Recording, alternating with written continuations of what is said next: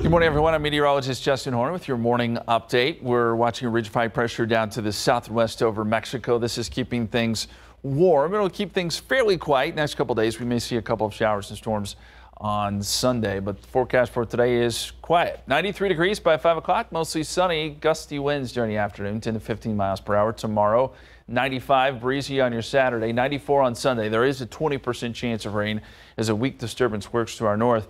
Another slight chance on Monday, and then temperatures really ramp up as we get into the middle part of next week.